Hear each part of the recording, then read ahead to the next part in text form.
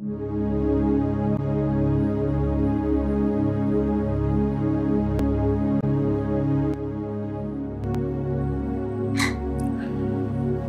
morning, viewers. God bless you. You are highly favored in the mighty name of Jesus. Thank you for getting connected to this wonderful Wednesday online service. I say to you, peace of God be with you, grace of God will be with you, God's favor be with you. In Jesus' name, amen. Today, I don't want to waste too much of your time. I just want to continue from where I left last time. Remember, we were discussing about the issue of altars. But today, I just want to share with you something that is along those lines, but not part of the series that we were talking about and you were learning from these past two, three weeks. So I hope you are ready to get connected. I hope you are ready to receive what God has in store for you today in this wonderful Wednesday service. May God richly bless you. And like I always say, make sure that you share the broadcast. You invite someone. There are many people who are out there waiting to be delivered, waiting to be healed, waiting to hear a wonderful message that will transform their lives. And they can only hear that or they can only learn once they see this broadcast shared on your timeline. So may God bless you as you are sharing. May God bless you as you are inviting your friends. And please kindly tell us where you are watching us from. And I'll be praying for you as I'm watching you right now online. May God favor you. May God increase you. You are a blessing. I'm sure as you are watching right now, you have already pressed that button that says you must get notifications each time there's a live video so that you don't get uh, caught up and miss what God wants you to learn time and again each time that I am online. So may God favor you for that. May God bless you. And another thing, I'm sure you have seen the supporter button and the stars button. May God lead you, God touch you in your heart to support this broadcast. For, because for us to come and broadcast to you right now, we need your support. May God favor you as you do that. So last time we were talking about altars, and on Sunday we had a very powerful prayer session. You can find it uh, on YouTube so that you can also pray with us. You know, the prayers that we do here are not time bound. Even if you go today after this message and you pray together with us, the same power, the same anointing, the same grace that was there on Sunday will still be visible in those prayers to deliver you and to set your family free. May God richly bless you. Today, I want us to ju- jump into the Word of God. But before we jump into the message that I have for you, remember when I gave you the 2021 prophecies in the church? I'm sure, no, it was not in the church, it was um, online. I remember because during, um, due to COVID 19 regulations and lockdown, we could not manage to have a crossover service. I mentioned something, I said, this year, as I received the message in the prayer room, we must be able to use our hands. Remember, it's a year of divine purpose. We must use our hands. So today, I want to start a new message that is going to usher us into a new a message of how we are going to discover our divine purposes. So during the course of the the month and the year, we shall uh, unleash a very powerful session on how to discover your divine purpose. But today, I just want us to quickly look at the scriptures. If you turn with me to the book of Second Kings, chapter four verse 1 second kings chapter 4 verse 1 excuse me. The wife of a man from the company of the prophets cried out to elisha your servant my husband is dead and you know that he revered the lord. But now his creditor is coming to take my two boys as his slaves. Elisha replied to her, How can I help you? Tell me, what do you have in your house? Your servant has nothing there at all, she said, except a small jar of olive oil. Elisha then said, Go around and ask all your neighbors of empty jars. Don't ask for just a few. Then go inside and shut the door behind you and your sons. Pour oil into all the jars, and as each is filled, put it to one side. She left him and shut the door behind her and her sons. They brought the jars to her, and she kept pouring. When all the jars were full, she said to her son, Bring me another one. But he replied, There is not a jar left. Then the oil stopped flowing. She went and told the man of God, and he said, Go, sell the oil and pay your debts. You and your sons can live on what is left. May God bless the reading of His word. May this word that we are going to share in this broadcast tonight bless every viewer, bless every person that is connected in the name of Jesus. May this message come as a transformation to your life, to your soul, to your body, to your spirit, and every aspect of your life. In the mighty name of Jesus Christ, we pray. Amen and amen and amen. Like I always say, I need you to get your notebook because there are times where you need to go back and revisit the scriptures, revisit the notes to encourage yourself, to revive your spirit, or just for revision's sake, so that you may um, show thyself approved after you have studied the Word of God. So please kindly take your notebook. What I want to teach you is something that you need to hear in this year 2021 and beyond. And what I'm going to teach you tonight is what you will need for generations to come. So, based on the scripture that we read, I'm just going to be fast. So, please bear with me.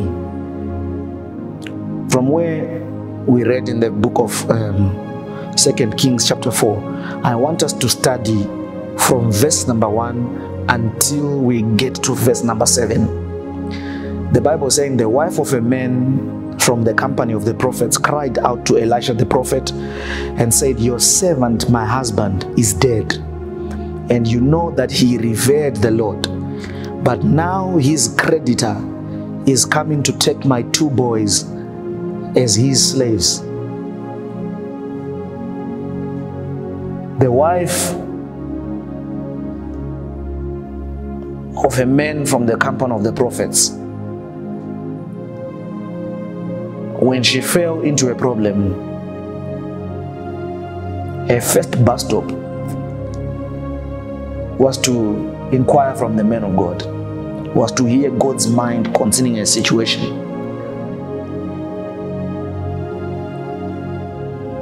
When she fell into debt and realized that she was going to be under serious problem, she did not rush to the debt cancellation or debt uh, review company.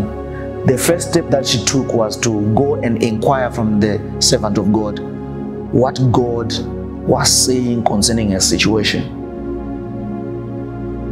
I'm talking to some people here who are in some situations like this woman who are facing some difficult situations in their lives. It might be health situations, work related situations, marital situations, financial situations.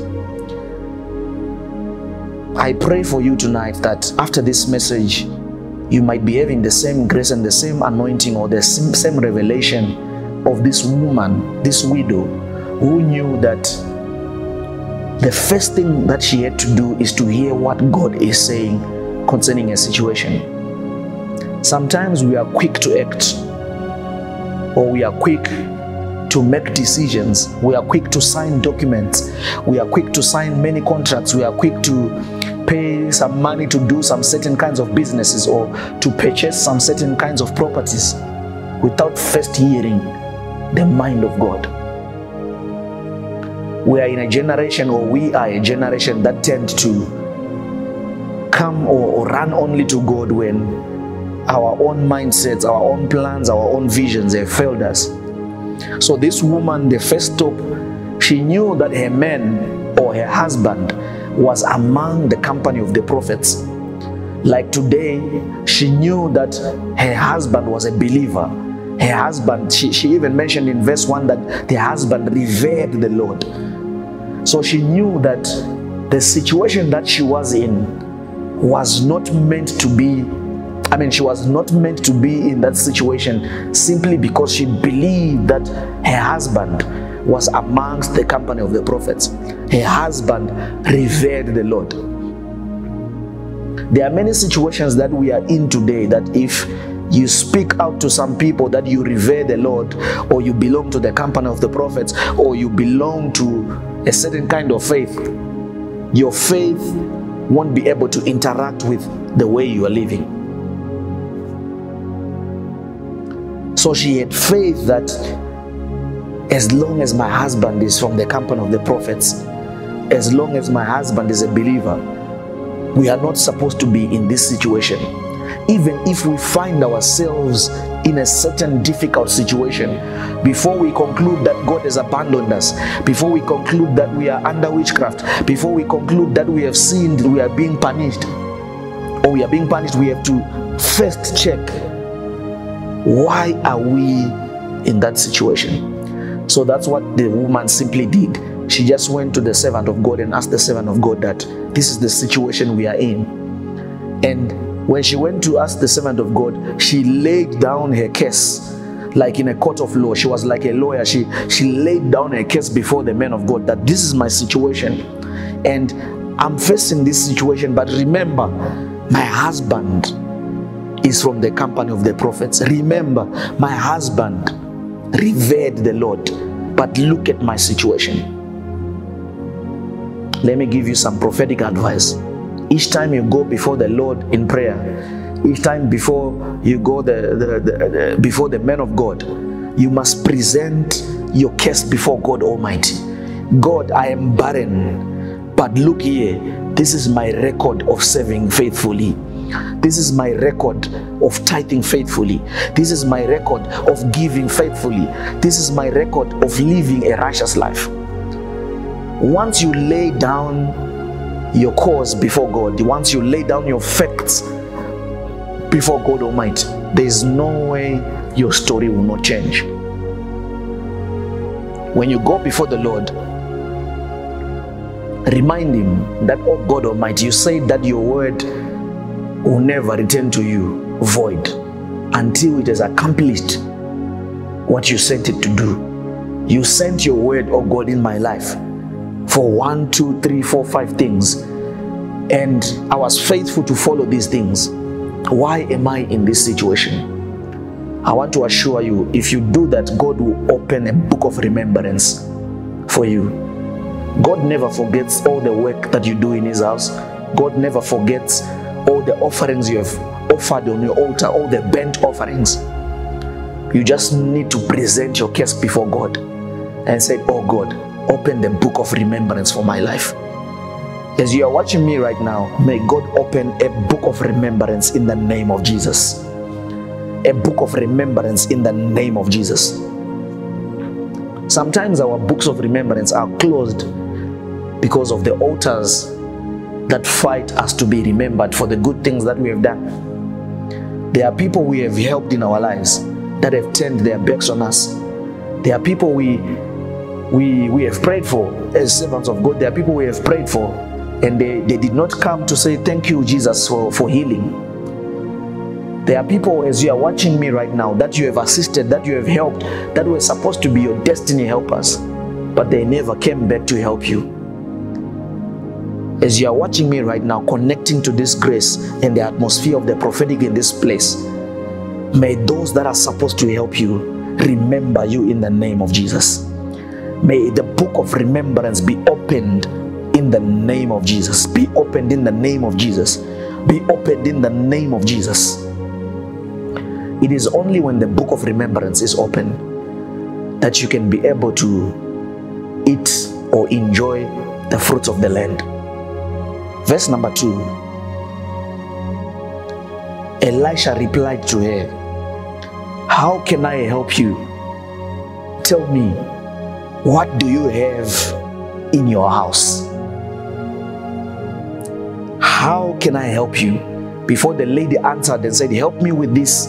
Remember, the lady had already uh, told the man of God that the issue here is that she was sinking in debt, and the debtor or the creditor um, was coming to take her sons. So, already the man of God knew what the problem was, but he went on to ask a very prophetic question How can I help you? What do you have in your house? Ladies and gentlemen, and all viewers all over the world that are watching me right now, when God wants to deliver a person, when God wants to deliver a nation, when God wants to deliver a country, God deals with what you have we are going to go deeper on this message and break it down very well when I'm, I'm teaching you on the series that is upcoming on uh, discovering your purpose. God deals with what you have. To me, if I was if I was a carnal person or to a carnal person, the carnal person would say, Why can the man of God or why does God ask the lady what she has when the lady has already told her that she has nothing? She's even owing someone who is coming to take away her kids. So, why is the man of God being rude or being heartless to ask the lady to say, What do you have in your house? It's obvious that the lady does not have anything. That's why she's coming for help. But there's a principle that God works with. I'm sure in the last episode I taught you about Luke 6, verse 38, which says, Give, and it shall be given unto you a good measure, pressed down, shaken together, and running over, shall men pour unto your bosom. And I taught you that the scripture is clearly saying, Give, and then it shall be given unto you. Even God Himself did not first receive us who are following the faith right now, who are giving uh, our lives to Christ right now, He first gave His only begotten Son so that He could harvest us now. Imagine how many believers are in the world right now because of one gift that was given first. When God was uh, sending Moses, when Moses saw the burning bush, and Moses was given a task that I want to send you to Egypt to deliver my children out of uh, Egypt the children of Israel. And then Moses asked the question and said, When I go there, who shall I say has sent me? And what can I prove? What can I do to prove to them that God Almighty has sent me? And the Bible says, God told him and said, What is in your hand? And he said, I'm holding a staff or a rod. And God Almighty said, Throw the rod down. And he threw the rod down, and the rod turned into a snake. So Moses did not need to get any other thing from God for him to perform a miracle. He did not need to receive anything for him to start moving, to start operating in his purpose. What he needed was in him. What he needed was in his house. What he needed was in his hand. For this lady to come out of debt, imagine you who is watching me right now, you are crying because you are having a debt maybe a debt of a car, a debt of a house, or you are owning some people that uh, borrowed you some money, and maybe your, your debt is barely less than 100,000, 50,000, 20,000, 200,000. Imagine a debt that gets to the extent that the people are coming to take your children. What can be compared to two people's lives? which debt can be compared to the lives of two children. So, which means this debt was a serious one. There's nothing she, she could do because she had already hit the wall. God was the only solution. And then the prophet is coming with a prophetic message to say, for you to come out of this debt, what you need is what you have in your house. Remember in the book of Genesis, I'm sure it's Genesis uh, 126 when God created man and the Bible says he put Adam in a deep sleep. I've once taught on this message. And when Adam was in a deep sleep, the Bible says he took the rib out of Adam and then he created or he made Eve out of the same rib. So God had to put Adam in a deep sleep for him to take something out of him to create a helper for him. So it is only when you are in that state of deep sleep that you need to let go of something so that you receive a greater thing. So even though the woman came to, to, to cry to the man of God, she did not have a revelation that what she needed to come out of a situation, she already had it in her house. Let's read verse 3 and hear what the lady is saying. Verse 2 says, Elisha replied to her, How can I help you? Tell me, what do you have in your house? Your servant has nothing there at all. She said, except a small jar of olive oil. Your servant has nothing there at all. That is the excuse of many people today. I don't have anything. I can't do it because I don't have anything. I can't do it because my family does not have anything. I cannot do it because my account does not have anything. And then she goes on to say, except a small jar of olive oil. Except a small jar of olive oil. She did not have a revelation that the greatest things that were, were going to come out of her life were hidden in that small jar of olive oil. As you are watching me right now, what is that small jar of olive oil in your life that you think is not important to take you out of misery, that you think is not important to take you out of that stagnancy, out of that delay, out of that disappointment. What is that small jar? Remember, even our Lord Jesus Christ taught us on, on the issue of faith, and He said, If only you have faith as small as a mustard seed.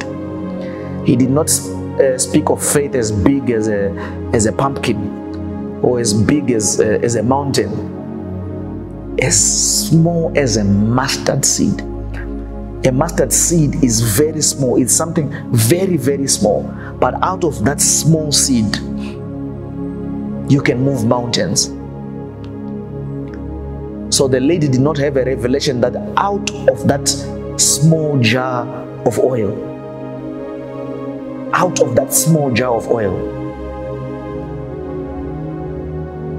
she was going to have abundance.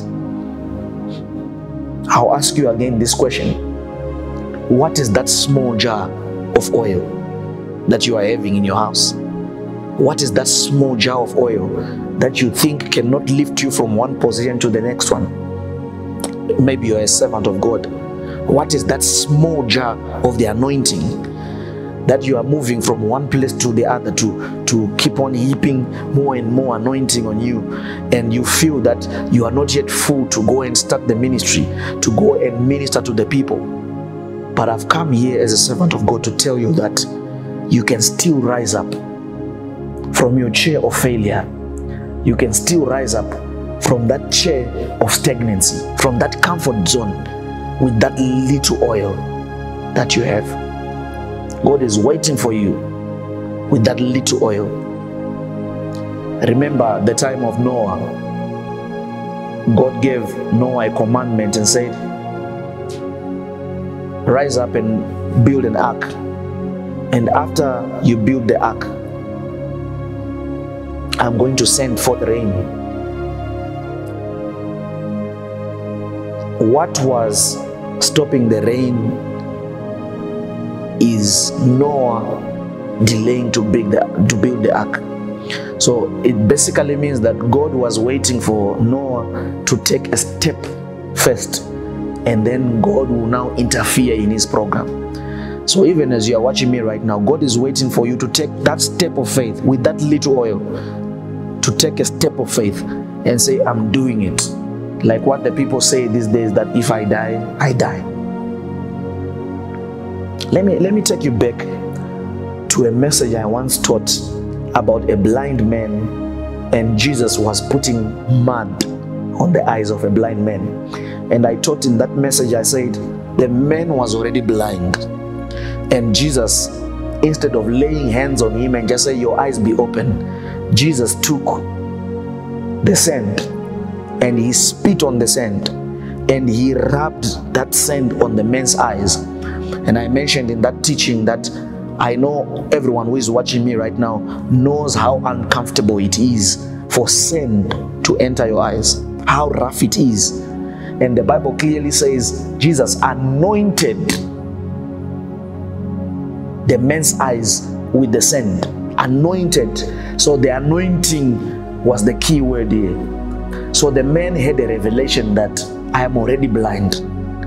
So even if someone is putting sand in my eyes, it does not matter anymore because I'm already blind. So if I die, I die. I just have to take this step of faith. Maybe in this pain, my sight is going to be restored. So many of us who are watching me right now, you are afraid of going through that pain. You are afraid of losing that small oil, small oil. You are afraid of putting that small oil into use because you believe that you are going to die afterwards. But don't forget that you are already blind. And what you need is your sight to be restored. And that sight is being restored through the pain of the sand in your eyes. Because each time where there's a pain, where there's pain, there is always an anointing and a breakthrough.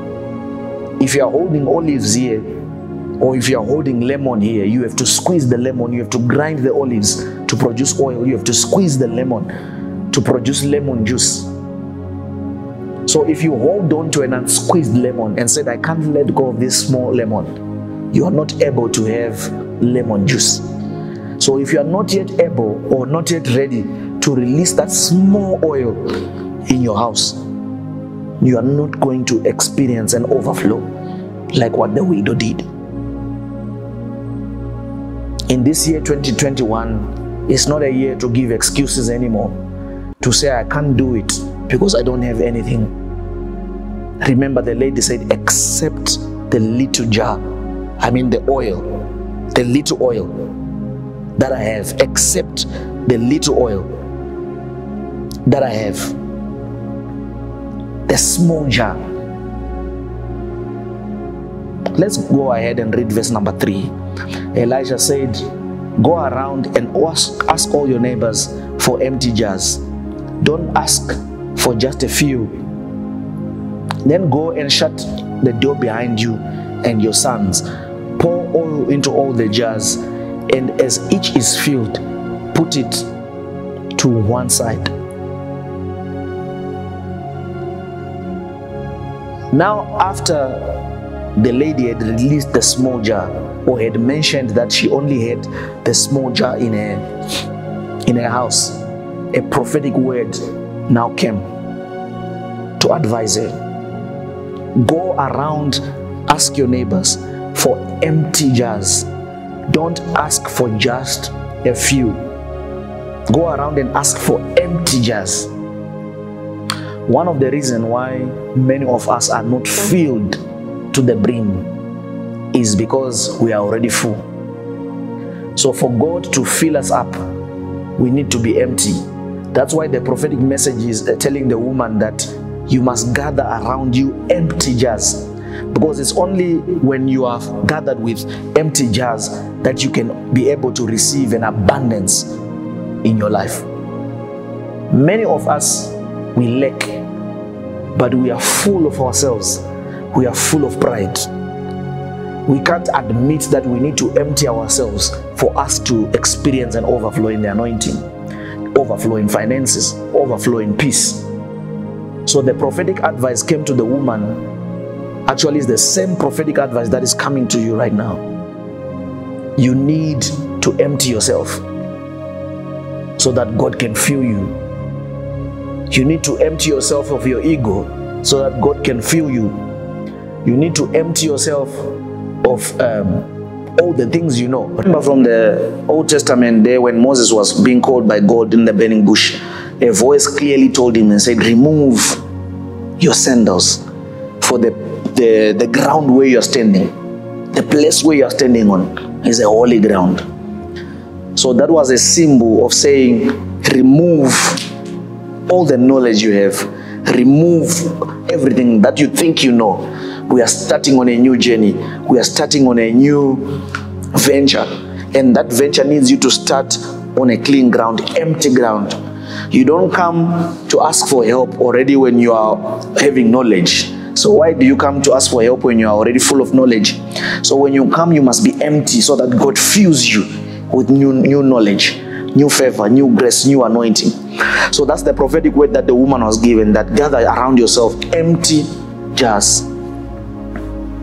Are you ready today to gather around yourself empty jars?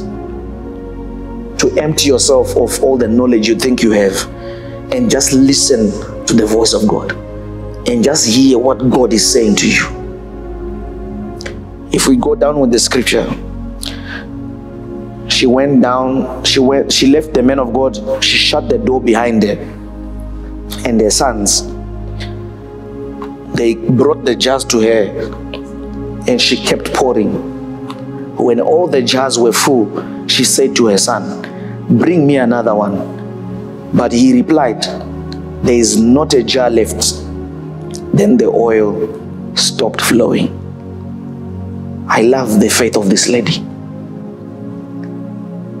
The man of God is telling her that take empty jars, go and close yourself in the house and pour the oil into the empty jars. That does not make sense at all. The lady is here to be helped to pay debt. She's expecting the man of God to give her money to pay the debts. She's not there to do all this circus of putting uh, the little oil into big jars of oil. That doesn't make sense at all. But the lady was spiritual. She knew who she was talking to. She knew the power behind the prophet. She knew that God can turn nothing into something. She knew that God can transform small things into mighty, great things. She was obedient to the voice. How many of you are obedient to the voice of God as you are watching me today? Are you obedient to the voice of God to say, leave that job that is giving you one million? Leave that place of business. Leave one, two, three things, or uh, transfer from this place to the next one. Or relocate from a certain place or maybe you had planned to to buy a house today and the voice of god is telling you that is not the time now stop. Will you be obedient? Remember for the things of god are foolishness to those who are perishing. So there's one thing that we as believers should learn is to be very spiritual. It is the world that is foolish that's why they laugh at us. That's why even when we cry for churches to, to open, they mock us because they don't understand spiritual matters. It is only when you understand spiritual matters you are able to understand how God operates. But if you are able, if you are trying to calculate the moves of God with a carnal mind, it will always appear as if it's a foolish thing. She was obedient. She went and closed herself inside the house she started pouring the child the children started pouring the oil and the bible says the oil was filling up miraculously into those empty jars. And here on the last part of verse number 5 or verse number 6 he said when all the jars were full she said to her son bring me another one but he replied there is not a jar left then the oil stopped flowing so the oil stopped flowing simply because there were no jars anymore, not because the anointing was finished. That's why at one point Jesus Christ often told the disciples that I have a lot to teach you, but you are not ready to receive. It means Jesus had a lot of information to teach them, but they had no capacity to receive what God wanted them to receive. I always teach people in the church that it's like you are having a phone with a memory of 5 megabytes. And someone wants to send you a song that you love or send you a song that will bless you or send you information that will help you. And that information is 5 gig and your phone can only receive 5 megabytes no matter how much you pray, how much you fast, no matter how much you jump up and down, no matter how much you spray oil or water, no matter how much you touch the sticker, there is no way your that song is going to fit in your phone because your phone has a low capacity. So what needs to be done is for you to upgrade your phone from 5 megabytes to 10 gig so that you can be able to accommodate the 5 gig. So even now when I'm giving you this information, for you to be able to digest it and for you to be able to apply it, to use it for your advantage, you must have a capacity to receive it, a bigger capacity. Remember the scripture says, my people perish because of lack of knowledge. It is only when you don't have a capacity to receive knowledge that you perish. So the oil stopped not because the oil was finished, but because the jars were finished. You must always strive, child of God, to have a bigger capacity, have a bigger vision, have a big, bigger picture of life. Because God only deals with you according to how big your vision is, how big your dream is, how big your capacity is. If you take the richest man in the world here and put him here and take yourself here, the reason why this person is here is because of his mindset, his, his capacity. And the reason why many of us are in the same situation we are in is because of our low capacity. So we need to increase more jars, empty jars, for God to fill us up. I hope this message is blessing you as you are listening me, to me right now. If you are being blessed, just quickly type there on the comment box that I'm blessed, I'm blessed, and I'm blessed. And as you are typing, may God bless you and increase you. Verse number seven says, She went and told the men of God. And the man of God, this is the part that I want you to listen to very carefully as I, as I finish. And the man of God said, Go and sell the oil and pay your debts. You and your sons can live on what is left. Go and sell and pay your debts. You and your sons can live on what is left. What is in your hand? Many of you are planning to start businesses, are planning to pursue their careers, their purposes. What is in your hand? When I say what is in your hand, I'm saying what is your gift? Here, what was in the lady's hand multiplied. And the prophetic word came and said, Go and sell what you have multiplied and pay your debts and live on the profit, you and your children. So it's a simple principle that God is, is, is, is revealing to you today.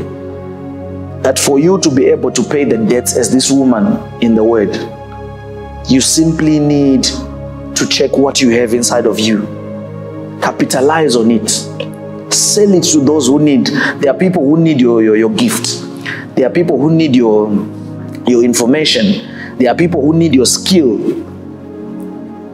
Go and sell it out to the world, pay your debts, and let your family live off the rest. Are you a good writer? Are you a good speaker? Are you a good singer? Are you a good uh, keyboardist? Are you a good writer? Are you a good uh, motivational speaker?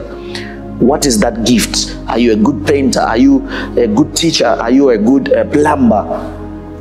Are you a good electrician? Are you a good uh, computer graphics person? Before you are praying for someone to employ you, What is it that you have when you're sitting there in your house watching me right now?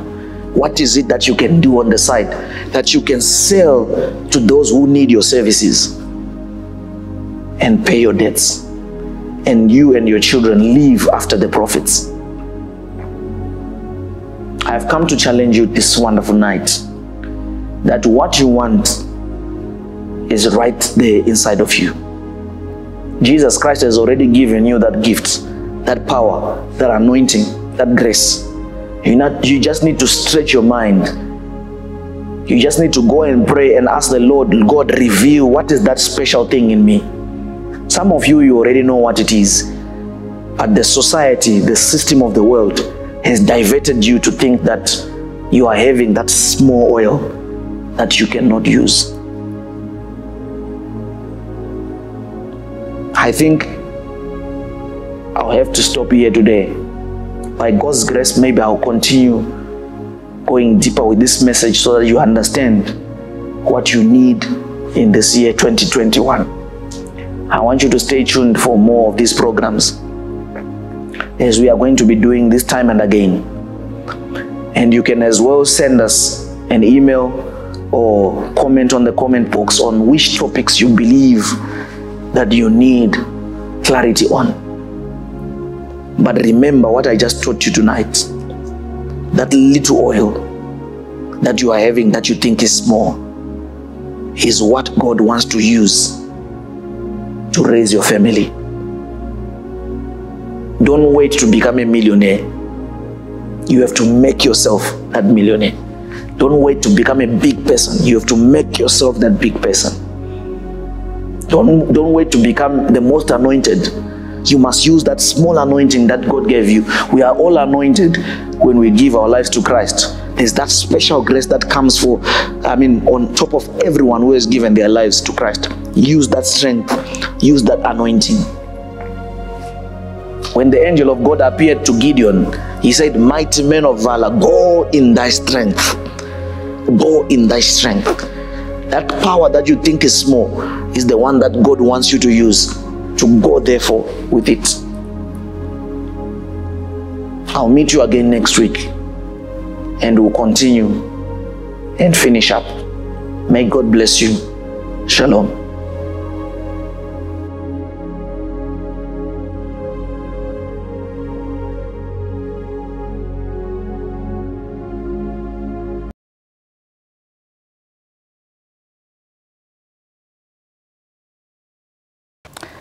There, viewers. Thank you for watching this wonderful program. May God bless you and enlarge your territory.